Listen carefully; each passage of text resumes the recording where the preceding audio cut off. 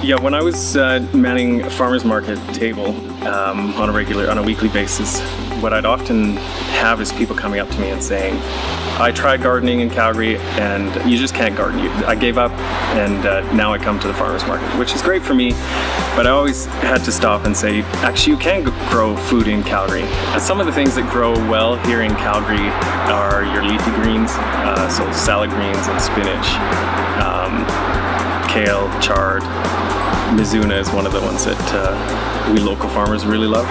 When I think about the uh, the local economy here in Calgary, um, one of the things that pops into my mind from my standpoint as a farmer is, is the connection to the restaurants.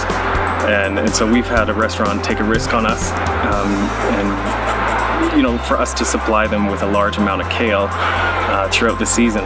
And, and so that that's kind of cemented a relationship. I've been able to hire an employee and uh, and thus we, I actually have a, a sustainable, sustainable business uh, as a result of that. Uh, and so when you choose to purchase locally, uh, there's nine little companies that you are supporting. And, and so at, at the first kind of swath, there's a there's an economic value, um, keeping keeping our economy, the money into in our in our local economy, and uh, helping it thrive in that way. Uh, the other the other part is, uh, I mean, lettuce is just hands down. I mean, tastes better when it is cut that morning and then brought to you to your plate uh, that evening. And uh, I think that's the one we kind of go on a bit of a lettuce fast over the winter because we we miss the taste of real lettuce.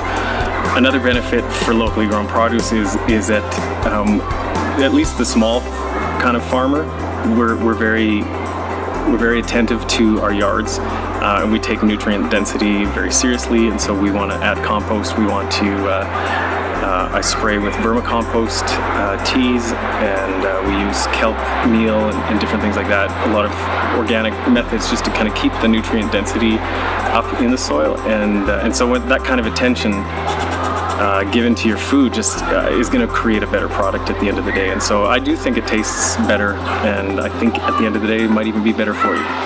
That's my job as a, as a farmer is to kind of nurture that that microbial life. And so we do that in, in a number of different ways. Um, compost is a, is a great one. Um, but also green manures like plant peas or rye and then work that into the soil. Um, because basically we don't feed our plants, we feed the soil.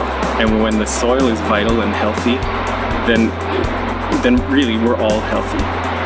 I, know like there's a lot of social like, economic development that uh, that conversation is, is very vibrant here in Calgary. And uh, and so you know when you have these conversations, it always seems that we come back to to the to the topic of food. Um, and I think largely because we're, we're all hungry, we all need to eat, and so uh, it, it, kind of is one of the primary things if we want to if we want to address the, the food system. Um, we need to talk about that in, in terms of, of how we can do that in a local way.